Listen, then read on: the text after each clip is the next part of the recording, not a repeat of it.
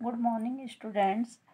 आज मैं आपको, आपकी जो हिंदी फ़र्स्ट बुक है भाषा कौशल, उसका, उसमें जो हमारा लेसन है, उसमें से पाठ तीन वर्ण और वर्णमाला पढ़ा रही हूँ।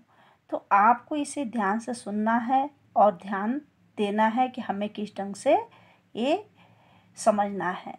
तो देखिए, इसमें दे रखा, सबसे पहले देखो, पाठ का नाम है वर्ण और वर्णमाला तो सबसे पहले हमें देखना है वर्ण। तो वर्ण जो होता है, ये आ से ज्ञान तक, जितने भी अक्षर होते हैं, आ से ज्ञान तक, जितने भी अक्षर होते हैं, वो क्या होते वर्ण होते हैं। और जो वर्णमाला, अब आगे इसमें वर्णमाला। तो आ से ज्ञान तक को ही वर्णमाला कहते हैं। आ से जो ज्ञान तक अक्षर होते हैं, उन्हें ही वर्णमाला कहते हैं। तो सबसे पहले आ रखा है हमारा, सबसे पहले देखिए, इसमें है वर्ण। क्या है? वर्ण। तो भाषा की सबसे छोटी ध्वनि वर्ण कहलाती है। सबसे पहला, जो हिंदी सीखने में, जब हम हिंदी को सीखते हैं तो सबसे पहले हम क्या करते हैं? वर्ण का इस्तेमाल ही करते हैं, वर्ण या अक्षर। तो भाषा की सबसे छोटी ध्वनि क्या है? वर्ण कहलाती है। इसको आवाज़ भी कहते हैं। ध्वनि को क्या कहते हैं? आवाज़ भी कहते हैं। तो इसमें यही दिया गया है कि जैसे देखो, हमें वो बनाने हैं। कोई शब्द बन, लिखा हुआ है। कोई शब्द लिखा हुआ है, क कलम। जब हम इसे लिखेंगे तो क, धन, ल, धन, म। तो क्या बनेगा फिर ये? क्या बन जाएगा? कलम। तो ये क्या बन गया? शब्द बन गया। क्या बन गया ये? शब्द बन गया। और ये क्या है? अक्षर। ये क्या है? अक्षर। तो यही अक्षर या वर्ण। या इसे वर्ण कहेंगे या अक्षर भी कहेंगे। तो देखो, इसमें एग्ज़ाम्पल दे रखा है कि बच्चे ने कहा, मम्मी तो मम्मी, देखो, मम्मी में कितनी ध्वनियाँ हैं? आ गई आपकी। कितनी ध्वनियाँ आ गई मम्मी में? म, आधा म फिर म म पे बड़ी की मात्रा। तो पहले आएगा म, धन अ धन, म। धन, म। तो देखो, इन पे हलंत लगे हुए हैं नीचे। धन, ई। तो क्या बन गया ये? मम्मी। तो इसमें कितनी ध्वनियाँ आई? पाँच ध्वनियाँ मिला, मिलके एक शब्द बना है। तो ये सभी यही वर्ण कहलाती है। हम अपने आसपास भी बहुत सी ध्वनियाँ सुनते हैं। आवाज़ें जो आती हैं वो क्या है? ध्वनिया ही हैं। तो क्या है? वही जैसे क्या है? कहीं पे तुम्हें सुनाई दे रहा है, कहीं पे किसी का फ़ोन में कोई रिंग आ रही है तो रिंग की आवाज़ कुछ भी हो सकती है तो हमें क्या वो आवाज़ें सुनाई देती हैं। कोई गाड़ी चल चल रही है तो गाड़ी के चलने की आवाज़ भी हमें सुनाई देती है। हमें एहसास हो जाता है कि गाड़ी जा रही है।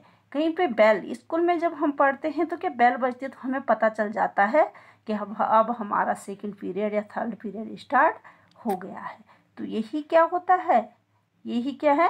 ध्वनिया है। तो ये हमें हमें इनको सुनने का एहसास होता है कि हमें किस ढंग से इनको सुनना है।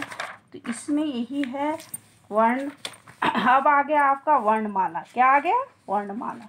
तो वर्णों के कर्मवार समूह को देखो, वर्ण एक आ से ज्ञान तक जो होता है, उस समूह को क्या कहते हैं? वर्णमाला कहते हैं।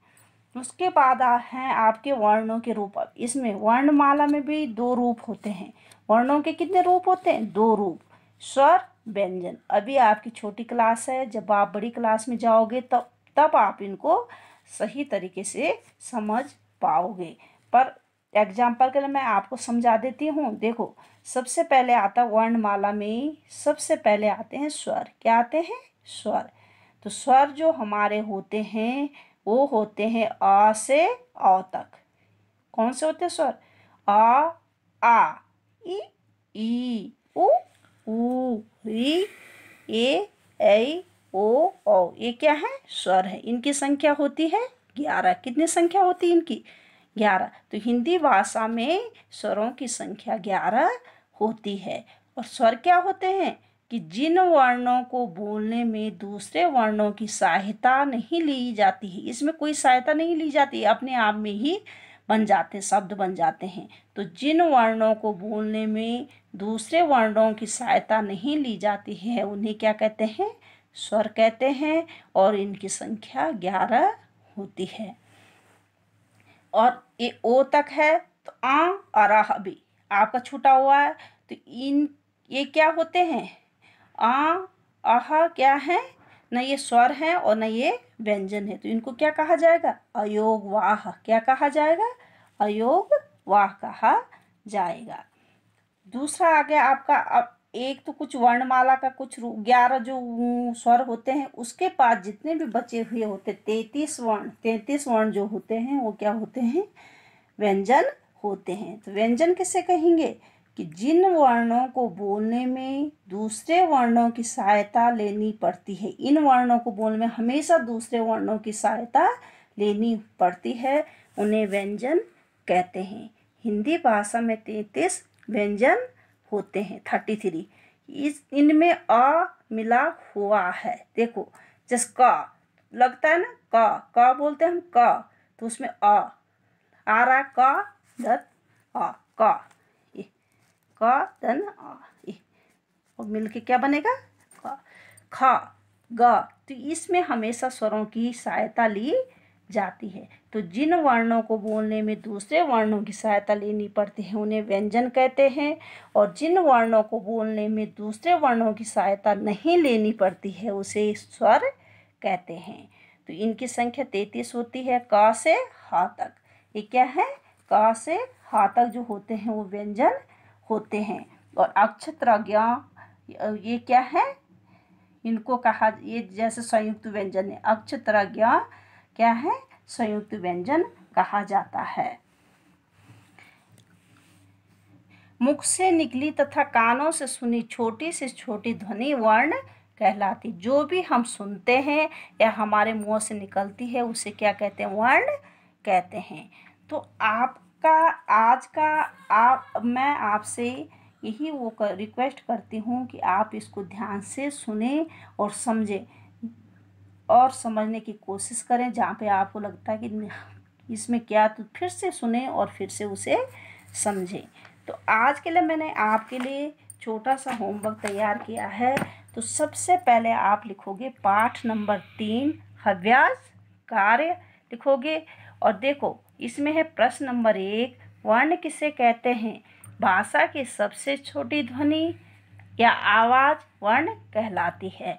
क धन ल धन, म कलम। वर्ण कितने प्रकार के होते हैं?